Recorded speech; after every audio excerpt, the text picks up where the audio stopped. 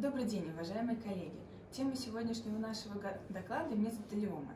Мезотелиома – редкие злокачественные опухоли, которые развиваются из мезотелиальных клеток, выстилающих внутренние полости организма. Соответственно, мезотелиома развивается на висцеральной плевре, париетальной плевре, перикарде, Э, брюшине и оболочек яичек. В структуре заболеваемости злокачественными новообразованиями мезотелиома составляет 0,16%, а в структуре смертности 0,38%.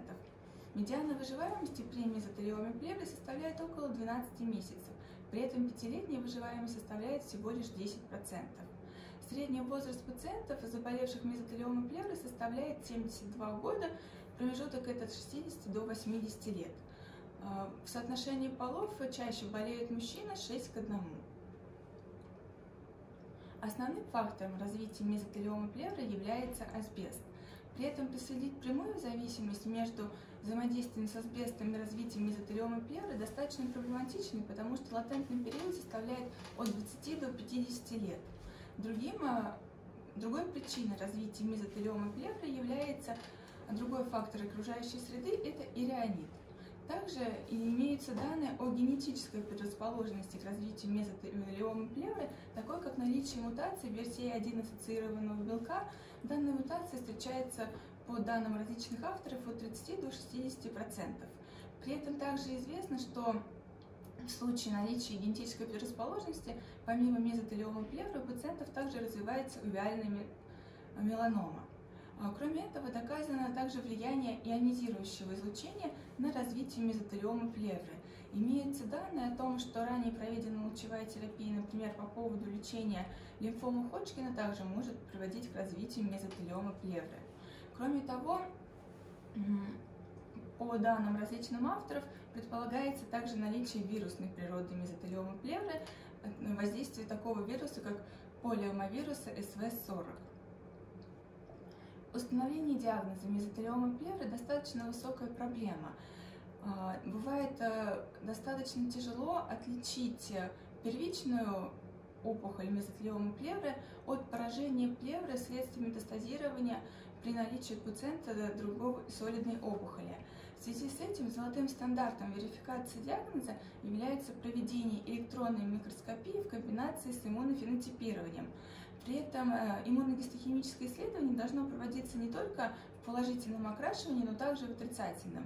Основными иммуногистохимическими маркерами мезотелиома плевры является э, позитивный ответ по поводу цитокератина 5 и 6, наличие э, кальритинина, также наличие антигена VT1.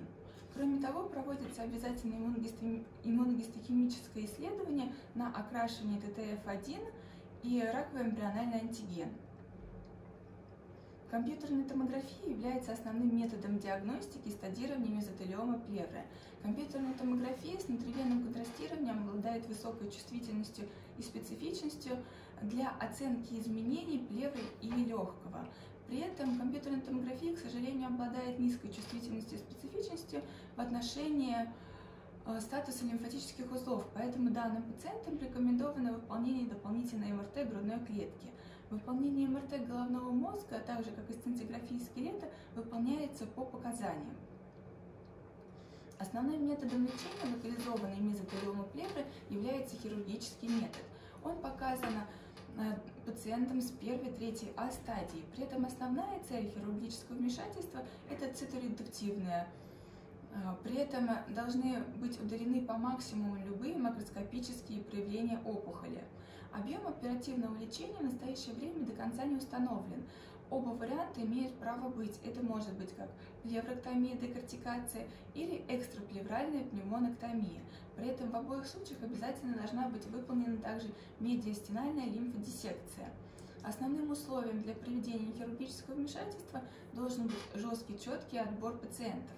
Пациенты должны находиться в удовлетворительном общем состоянии, должна быть обязательно сохранная сердечно-легочная функция, проведение оперативного вмешательства пациентов с саркоматоидным подтипом мезотелиома плевры, а также при наличии поражения лимфоузлов в стадии N2 достаточно сомнительно. Кроме того, необходимо оценивать каждый раз возможность проведения дополнительной адъювантной терапии. До недавнего времени единственным зарегистрированным вариантом системной химиотерапии в первой линии являлось применение препаратов пиметрексет в комбинации с цисплатином. Проведенное клиническое исследование продемонстрировало, что добавление пиметрексета к монотерапии цисплатином позволяет увеличить медиану общей выживаемости с 9,3 месяцев до 12,1 месяцев при медиане времени до прогрессирования 5,7. А, в настоящее время неоднозначное мнение экспертов по поводу необходимости назначения биоцизумаба в дополнение к стандартной химиотерапии первой линии лечения.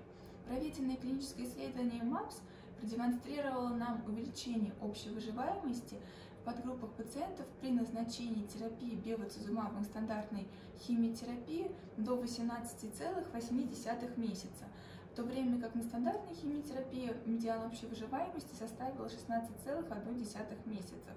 Однако на основании данного проведенного клинического исследования э, именно это исследование позволило включить э, рекомендации МТСН добавление бевацизумаба в первую линию лечения э, пациентов диссеминированной распространенной мезотелиомы плевры. В то время как рекомендации ЭСМА не рекомендуют в первой линии лечения добавление антиангионенной терапии, так же как э, проведение поддерживающей терапии. Достаточно важным э, прогностическим фактором является уровень PDL-экспрессии у пациентов с мезотелиомой плевры. При этом имеется информация, то, что э, около 40% пациентов с мезотелиомной плеврой являются позитивными по, по поводу экспрессии PDL-1. При этом экспрессия PDL-1 коррелирует с уменьшением общей выживаемости. Так, в проведенном клиническом исследовании было показано то, что э, пациенты с уровнем экспрессии PDL позитивным, общая медиана выживаемости их составила 5 месяцев в сравнении с 12 месяцами в случае по сравнению с 14,5 месяцами в случае отрицательной PDL-экспрессии. Все это послужило поводом к развитию изучения иммунотерапии в терапии мезотелиомы плевры. И э, в заключении своего доклада хотелось рассказать бы о том прорыве, который произошел в терапии мезотелиомы плевры. За последние 15 лет это первая новая одобренная FDA комбинация препаратов лечения первой линии мезотелиомы плевры. Назначение неволумаба в комбинации с иперимумабом позволило увеличить медиану общей выживаемости с 14,1 до 18,1 месяца, это в подгруппе всех пациентов мезотелиома плевры. При этом дополнительный поданализ продемонстрировал наибольший выигрыш в подгруппе, столь неблагоприятной подгруппе пациентов, как саркоматоидный подтип. При этом мы видим увеличение общей выживаемости до 18,1 месяца в сравнении с 8,8 месяцев в случае назначения только стандартной химиотерапии. А, при поданализе эпителиозного подтипа разница общей выживаемости была статистически значима и составила 18,7 в случае иммунотерапии и 16,5 в случае назначения химиотерапии. При этом дополнительный подаманализ в зависимости от уровня экспрессии PDL также увелич... показал а, увеличение общей выживаемости преимущественно в подгруппе пациентов с уровнем PDL более 1%. Таким образом, в настоящее время в терапии мезотелиома плевры имеется два зарегистрированных, одобренных FDA режима терапии. Первое – это иммунотерапия, назначение иплимумаба с неволумабом, Второе – это стандартная химиотерапия в режиме а, пиметрексет цисплатин и, наверное, на ваше усмотрение это добавление или не добавление бивацизумаба. Спасибо большое за внимание.